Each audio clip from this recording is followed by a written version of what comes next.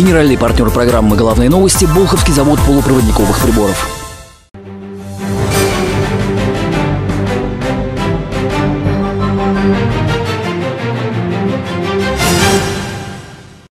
Здравствуйте. О главных новостях в Орле и регионе расскажу я, Виктория Панина. Смотрите в этом выпуске. Точки продаж лесных красавиц. Замечательно, когда ты несешь счастье людям, детям особенно. Экзамен для Деда Мороза и Снегурочки. Лучшую пару главных героев новогоднего праздника выбрали в Институте культуры. В Орловскую область прибыла делегация Республики Словения. На железнодорожном вокзале гостей встречал губернатор Вадим Потомский. Об установлении и укреплении бизнес-контактов шла речь во время встречи главы области и представителей делегации в администрации региона. Обсуждались перспективы взаимовыгодного сотрудничества. Периодически проводим встречи э, и в Словении, и в России. И нам очень приятно, что э, значит, нашим местом вот очередного, э, очередной встречи является Орел. И самое главное, что это не просто, значит, ну скажем, выездное заседание где-то, а это предметный разговор о очень, я думаю, достойных, крупных проектах, которые мы, как деловой совет, естественно, будем поддерживать. Есть проект, который я считаю более такой, знаете, не то что более, один из таких грандиозных проектов, который мы сейчас рассматриваем, это строительство обувной фабрики. На сегодняшний день в Российской Федерации, к сожалению, всей обуви, которая у нас есть, только 5% производится внутри всей Российской Федерации. То есть это наш рынок. Все остальное у нас привозной. Китай и Беларусь. И может быть э, много разговоров на предмет того, что в чем рентабельность. Если для Беларуси это производство рентабельно, то я думаю, для Российской Федерации это будет не менее рентабельно, тем более, что потребителя внутреннего гораздо больше, чем в Беларуси. Если мы белорусское покупаем, Почему бы нам не производить свое? Я убежден, что а, когда мы договоримся, я просто убежден, что мы этот проект реализуем, потому что я считаю его самым основным проектом, он очень емкий по трудовому коллективу, там 3200 человек должно на этом производстве работать. Для нас это очень важно. Занятость. Это занятость населения, это рабочие места. Перспективы сотрудничества Орловщины и Республики Словения обсуждались в рамках заседания делового совета. В администрации региона состоялась бизнес-конференция с участием деловых кругов. Наталья Пехтерева далее с подробностями. Россия и Словения договорились поддерживать дружбу. Этот заголовок статьи одного из федеральных СМИ как отражение текущей ситуации. Летом президент Владимир Путин посетил республику. Главы государств тогда обсудили ряд важных экономических и политических вопросов. Стороны условились находить новые пути для развития отношений. О том, что дружественные деловые экономические связи России и Словении будут крепнуть, говорили в Орловском регионе. Нам очень приятно, что очередное заседание проходит в Орле, подчеркнул Эдуард Вайна, председатель делового совета по сотрудничеству со Словенией. Не просто так приехали сюда, и деловой совет э, хочет поддержать те начинания э, славянских наших партнеров, которые направлены на реализацию ряда очень крупных проектов. Мы с благодарностью э, к Вадим Владимирович относимся к вашим инициативам, потому что надеемся, что э, с вашей поддержкой, с вашим участием и с участием э, делового совета, и самое главное, с участием наших славянских партнеров, мы сможем реализовать намеченное. Позвольте поприветствовать вас на Великой Орловской земле. Для нас это очень почетно. Поверьте, мы к вашему приезду очень готовились. Была проделана первоначальная, но уже достаточно серьезная работа. Специалисты с обоих сторон фактически в ежесуточном, постоянном режиме, 24 часа в сутки они работают для согласования необходимых документов, для подписания э, технической, технической документации, для составления финансовой модели, потому что мы это, э, об этом широко не говорили себя на территории, потому что ждали вашего приезда, как бы подтвердить абсолютную серьезность наших намерений, учитывая то, что те проекты, которые сегодня рассматриваются, и те проекты, которые мы будем приложим все возможные и невозможные усилия, чтобы их реализовать на территории Орловской области, э, были осуществимы. Ответный визит запланирован. Председатель делового совета по сотрудничеству с Россией Янос Шкрабец пригласил губернатора Вадима Потомского в Словению, чтобы предметно обсудить проекты. Российская Федерация очень важный партнер, один из самых больших вне ЕС.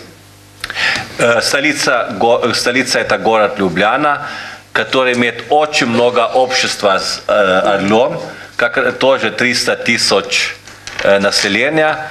И у нас э, мэр почти так активный, как вы, господин губ- губернатор.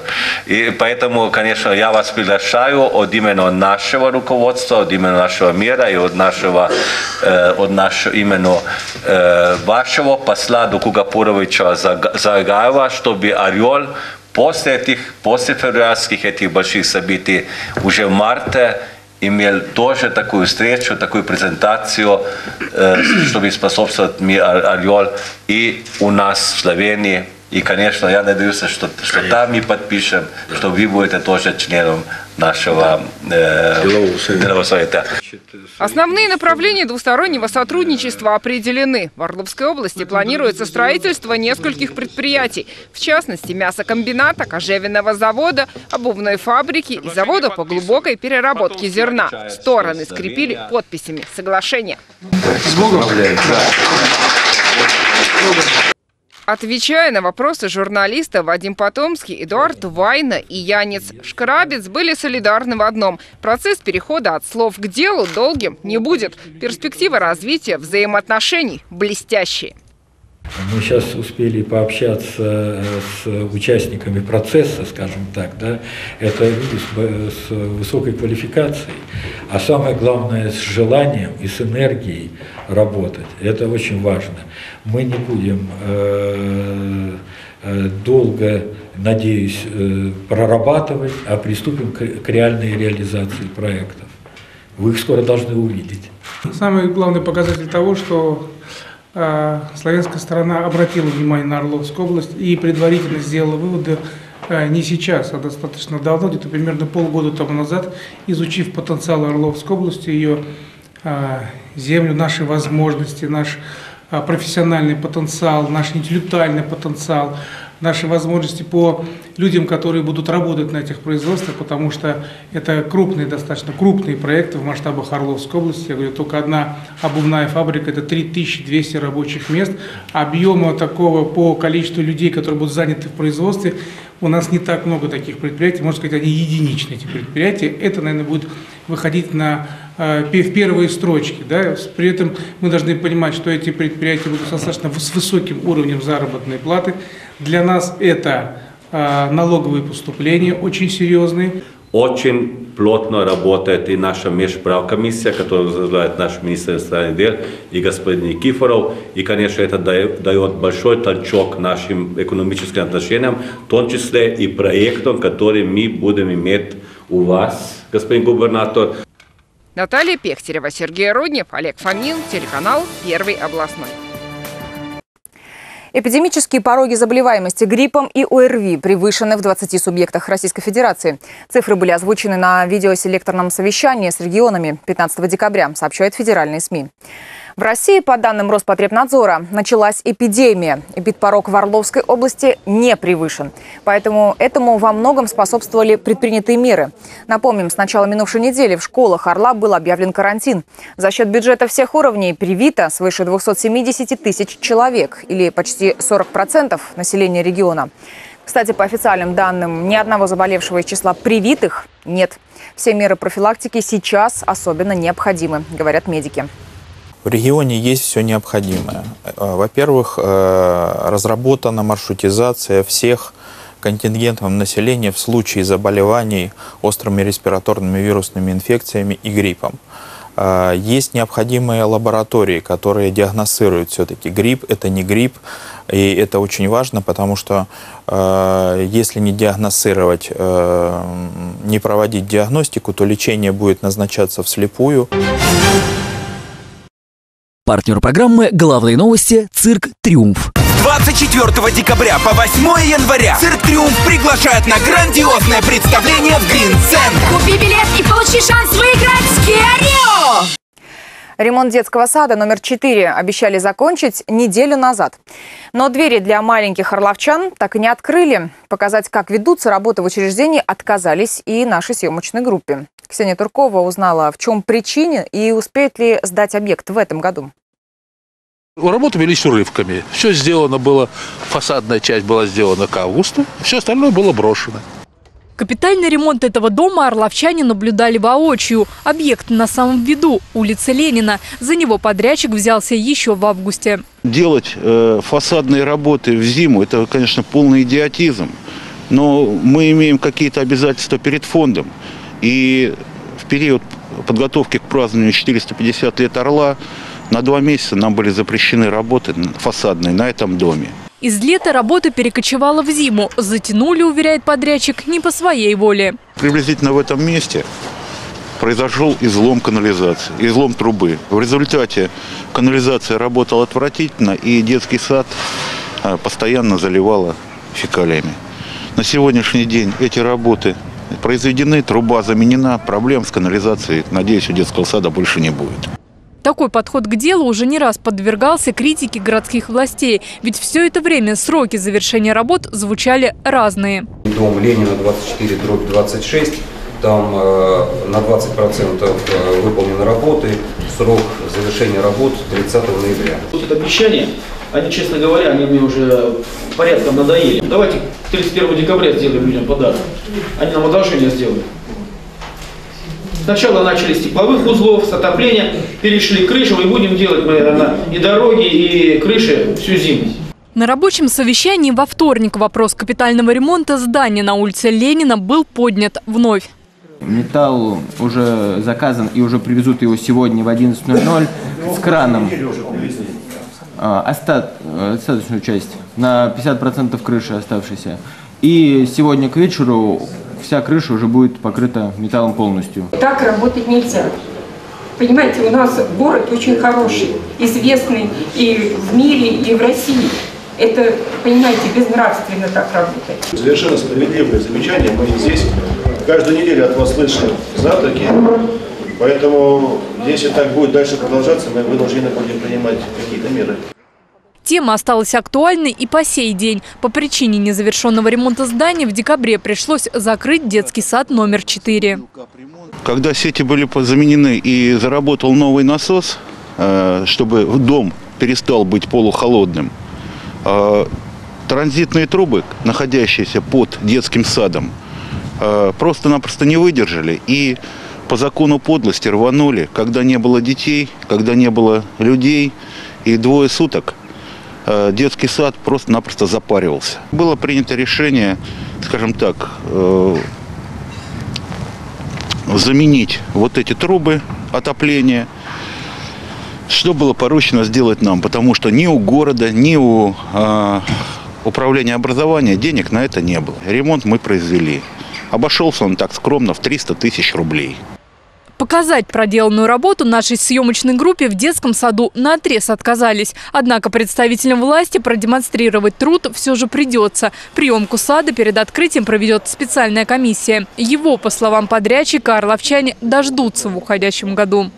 Я думаю, что понедельник – это крайний срок, когда дети заедут. Самая главная проблема, которая есть сейчас у детского сада и которую однозначно придется решать властям города, это отсутствие вентиляции. Если эту проблему сейчас не решить, ну, максимум год, что этот детский сад простоит. А потом придется опять за счет кого-либо делать капитальный ремонт. Ксения Туркова, Эдуард Чернаускас, телеканал «Первый областной». В Орле появился новый вид мошенничества. На улице к людям подходят якобы сотрудники банка и предлагают открыть счет с немедленным получением процентов. За один только день аферисты обманули трех женщин на 130 тысяч рублей. Мошенники играют на алчности. Открывая счет и сразу получаешь 30% прибыль. Помогают им сообщники, которые делают вклад и на глазах потенциальной жертвы выдают полагающиеся проценты. Орловчанка поверила незнакомцам и передала все свои сбережения 60 тысяч рублей. После этого злоумышленники ушли, больше их женщина не видела. Аналогичным способом обманули жительницу Мценского района. Пенсионерка под предлогом открытия вклада в банке передала злоумышленникам также 60 тысяч рублей. А 80-летняя жительница заводского района города Орла стала жертвой лжегазовиков. К ней в квартиру под предлогом проверки газового оборудования пришли две незнакомые женщины. После визита пенсионерка обнаружила пропажу – 10 тысяч рублей. По данным фактам ведутся следственные действия. В России на 100 тысяч жителей фиксируется 19 смертельных случаев на дороге. Это в два раза выше, чем в Европе, где этот показатель составляет 9,3. По сравнению с предыдущими годами в нашей стране водители легковых автомобилей гибнут в авариях чаще, чем пешеходы. Новый тренд появился в профилактической работе орловских стражей дорог. Олег Рудаков подробнее. Встречи такого формата с молодыми водителями родились в Германии. Краш-курсы, проводимые в странах Европы, дошли и до России. Шокирующие кадры дорожных аварий, откровения жертв и тех, кто ежедневно сталкивается с автотрагедиями, студентам Орловского института транспорта показали и рассказали, к чему приводит беспечность на дорогах. Этим курсом мы хотели бы заострить внимание на основных проблемах безопасности и показать вот эту неприкрытую ничем страшную картину дорожно-транспортных происшествий, чтобы каждый раз, садясь за руль своего автомобиля, либо в качестве водителя, или садясь в автомобиль в качестве пассажира, каждый из них помнил, к чему эта поездка может привести. Все спикеры курса, это были помимо сотрудников ГИБДД, еще и спасатели, медики и психологи, за какой-то час без обиняков буквально обрушили на слушателей разнообразную информацию. Чтобы не быть голословными, они рассказали о своих самых ярких впечатлениях, связанных с работой на местах трагедий. Ситуация заключалась в следующем. Ребенок выложен на проезжую часть, и автомобиль весом более трех тонн, грузовой, просто его-напросто переехал. На проезжей части находились фрагменты тела данного ребенка. Оно было обезображено. Ребенок был одет, как помню сейчас, голубенькие шорты и светло-зеленая футболка. И все это подкреплено незаретушированными кадрами с места аварии. Зрелище не для слабонервных.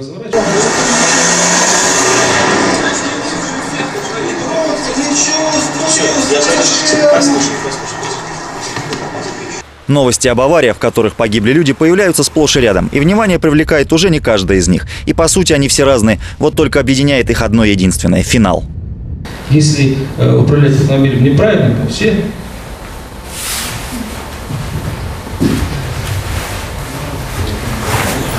попадаете вот сюда. По словам тех, кто прослушал краш-курс, этот час для них пролетел как пять минут. Но то, что они услышали, заставило их по-другому посмотреть на ДТП и ПДД. Типа из того черного мешка увидел жизнь, заметил кто-то. Мне очень понравилась фраза, то, что дорож... э, правила дорожного движения написаны чужой кровью, и они не должны написаны добавить нашей крови. Подобные курсы планируется проводить во всех вузах города, не станут исключением и автошколы. Олег Рудаков, Владимир Ноздрачев, телеканал «Первый областной». В конференц-зале Орловского университета экономики и торговли прошел интернациональный молодежный форум «Любить, дружить и уважать друг друга». Сергей Буковский расскажет, что для участников форума значил призыв из его названия. Если будем держаться друг друга, будем сплоченными, то выживем, победим и вернемся на базу. Это слова подполковника, прошедшего не одну горячую точку, командира роты разведки. Так, на войне он обращался к своим бойцам, парням разных национальностей. И такое же обращение уместно и здесь, уже как что-то фигуральное и обобщающее. На интернациональном молодежном форуме «Любить, дружить и уважать друг друга». В моем присутствии корреспондент э, увидел гастарбайтера одного и задал ему вопрос. Очень простой, казалось бы, вопрос. Он говорит, корреспондент его спросил, а что вы будете делать, если сейчас начнется война? Он сразу же ответил, я, говорит, возьму автомат и пойду воевать. И корреспондент спрашивает, как же так, вы же там с другой страны, с другого государства. Он говорит, государства-то у нас разные, а родина у нас одна. Форум прошел в Университете экономики и торговли и был организован администрацией вуза, областной общественной палатой и региональным отделением Российского детского фонда. Тема наша – любить, дружить и уважать друг друга. Но это не только любовь вот, мужа к жене, молодого человека. Это прежде всего любовь к родине. Мы говорим сегодня о патриотизме. Кстати, про любовь мужа к жене. Это не оговорка. На собрании вспомнили про семьи, которые создают студенты и выпускники университета. А ведь среди них много иностранцев. Их и позвали на форум, чтобы специально рассказали о своем патриотизме. Поэтому в программе были даже подготовлены иностранцами видеопрезентации их стран, культурные, исторические справки и, конечно же, предложение ехать в гости. Le Côte d'Ivoire, vous mangez passé Monogo, Cheslini, Plagi, National Paki, Musée. Côte d'Ivoire, je voulais ça champion d'Afrique par football. Они же рассказали о своих впечатлениях от «Орла» и от «Альма-Матер». При этом выступления не были какими-то сервильными. Ребята говорили и о сложностях, с которыми сталкивается студент-иностранец, приехавший учиться, и о том, как именно эти сложности можно решить. Поэтому выводы форума носили и прикладное значение тоже. Сергей Быковский, Сергей Руднев, телеканал «Первый областной». 9 декабря на аукционе определили места для размещения елочных базаров. Предпринимателям было предложено 29 адресов в районах города. Востребованными оказались 19 из них на улице Комсомольской, Карачевской, Металлургов, на Ногорском шоссе. С полным списком адресов вы можете ознакомиться на сайте администрации города Орла. Свободные места все еще можно занять. Работать елочные базары начнут с 20 декабря. Цена живых сосен и ели составит от 400 рублей за метр. Где живет главный русский Дед Мороз, знают все, в Великом Устюге. А вот орловские новогодние волшебники выходят из стен Института культуры. Там они обучаются. Но чтобы стать лучшим, нужно преодолеть серьезные испытания. Как работает корпорация Дедов Морозов, выясняла Анна Маричева. Кто сказал, что взрослые не верят в сказки? Они, как и дети, всегда мечтают о чуде. Например, о таком, которое произошло в Орловском государственном институте культуры. Перед зрителями стала непростая задача. Нужно было выбрать лучших Деда Мороза и Снегурочку, чтобы они отправились на ответственное задание – дарить радость орловчанам. Корпорация Дед Морозов происходит у нас впервые в этом году. Решили сделать небольшой предновогодний такой праздник, который подарим мы детям, взрослым, потому что в жизни взрослых также не хватает места иногда чуду, волшебству. Пять волшебных пар дефилировали перед жюри, демонстрировали свои таланты, смекалку и сообразительность. А почему здесь все сидят? Это что, Госдума? И почему так много людей здесь? Они что, цыгане? Ты что, намекаешь, что это цыганская Госдума? Конечно! К слову, талантливые и сообразительные морозные пары обитают не только в Институте культуры. На конкурсе представители и аграрного университета, и опорного вуза. Мне очень нравятся чудеса. Я в образе Снегурки захотела их исполнить для всех остальных. Это замечательно, когда ты несешь счастье людям, детям особенно. Им же интересно поиграть, чтобы они не теряли веру в сказку. В жизни каждого человека должно быть место чуду. И, и сегодня это чудо мы привнесем в жизнь. Смысл всех таких мероприятий и праздников – это дарить радость детям и добро. Подобный конкурс проводился еще несколько лет назад. Тогда он был в рамках только одного института. Теперь же границы расширились до межвузовского. Этот конкурс – дипломный проект одной из участниц Марии Кумекиной. Одна из задач стояла это передать русские традиции празднования Нового года. Из-за этого у нас в самом начале были ростовые куклы именно русских персонажей. Корпорация Дедов Морозов выполнила свою главную задачу. Позволила орловчанам снова окунуться в старую добрую сказку. Ту, которая окутывала каждого взрослого, когда он в детстве в новогоднюю ночь с нетерпением ждал прихода главного волшебника. Анна Маричева, Олег Фомин, телеканал Первый областной. На этом все. О важном и интересном сообщайте нам по телефонам 76 10 28 и 508 088. Это телефон нашей горячей линии. Также пишите на наш сайт obla1.ru. Я прощаюсь с вами. До встречи.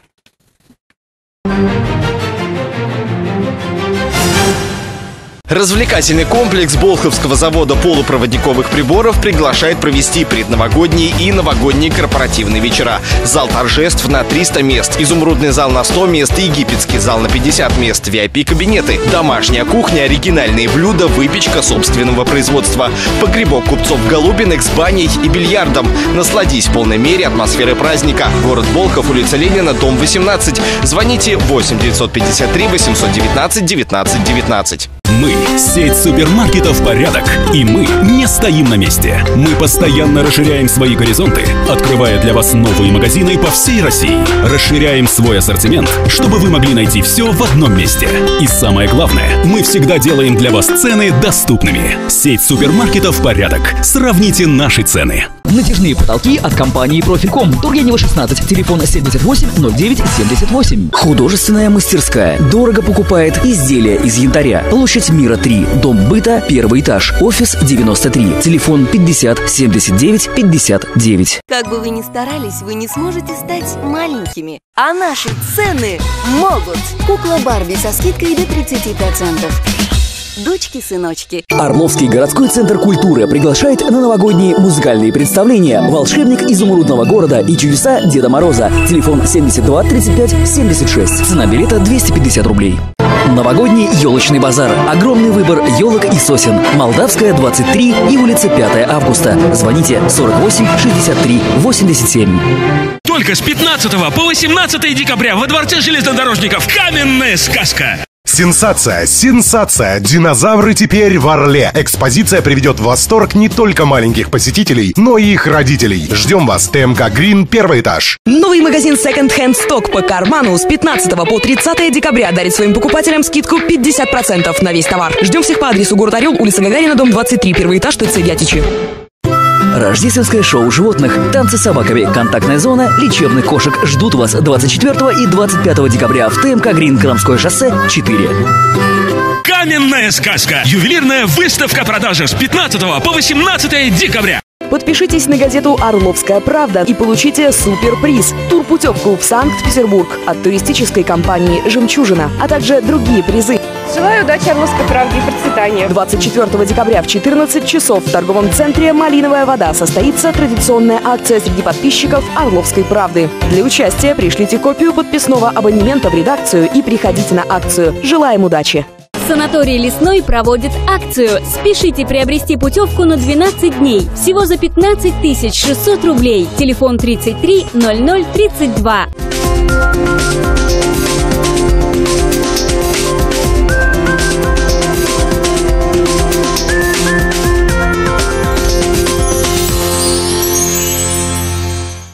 Здравствуйте! Время прогноза погоды на Первом областном. С вами Катерина Ясная. Узнаем, какая погода ждет нас 16 декабря. Синоптики обещают настоящую холодную зиму. Температура немного выше климатической нормы для этого периода. Далее более подробный прогноз. Генеральный партнер программы – сеть магазинов «Профкосмо». Видеть красоту в себе, радоваться отражению – в центре красоты «Профкосмо». Все направления бьюти в одной точке города. Тысяча квадратных метров на пользу вашей красоте. Профкосмо. Тургенева, 37. И вернемся к подробному прогнозу. В Амцинске столбики термометра покажут днем минус 15. Облачно, но без осадков. Ночью мороз до минус 15. В Ленах также пасмурно, небольшой снег. Днем температура воздуха днем до минус 13. Ночью минус 19. В Волхове пасмурные временами снег 14 с минусом. К ночи похолодает до минус 13. В Орле пасмурно, осадков не ожидается. Днем колебания температуры составят от минус 12 до минус 14. Ночью минус 16. Ветер северный со скоростью 3 метра в секунду. Атмосферное давление 760 миллиметров ртутного столба, что значительно превышает показатели нормы. Таков прогноз погоды на пятницу. Оставайтесь с нами на Первом областном. Наши партнеры ювелирная сеть «Золотой орел». На все украшения действует скидка до 35%. Цирк «Триумф» с новой программой «Карнавал животных». Православный магазин «Провода» «Орел» Горького, 39. Одежда ведущей предоставлена салоном женской одежды «Папилио». Всего вам доброго и хорошего настроения. Увидимся!